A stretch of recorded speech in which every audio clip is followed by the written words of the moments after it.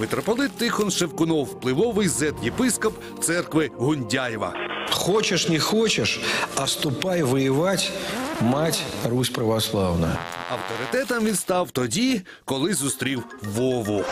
Знаю Владимира Владимировича з 98 года. Он працював рядом со Святским монастырем на Лубянке. Тому не дивно, що Тихона називають. духовником Путіна. Щоправда, в якого бога вірить Шевкунов, так само як його духовний синок, достоменно невідомо. В какого-то, конечно, верит. В какого, не знаю.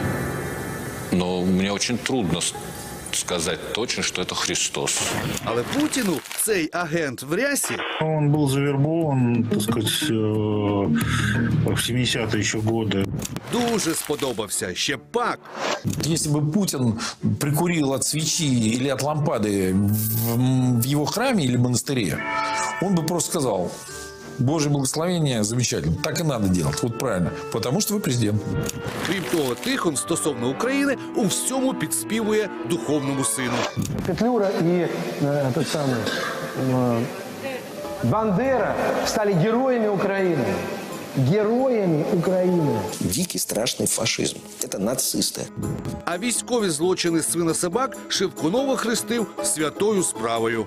Вот реальность исполнения заповедей Христовых Тому на Московії його вважають не лише впливовим царедворцем.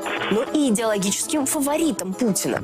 Але агент Михайло, він же патріарх Кирило, приревнував Вову до Тихона. Он сегодня главный претендент на патриарший престол. І Шевкунова відправили у заслання. Что такое Крым был в, древ... в, древ... в, не- в Древней Греции, Византии? Колыма. Это Колыма. За іншою версією, митрополит Тихон з'явився у тимчасово окупованому Криму за наказом самого Путлера.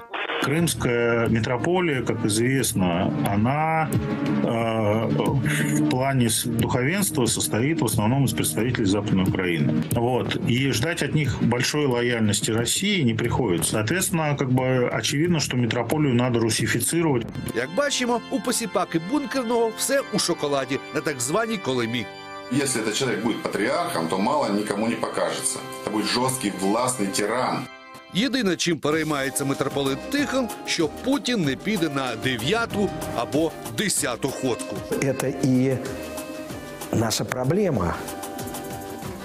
Человек не бессмертен. Тихон Шевкунов, звіздун за перебріка.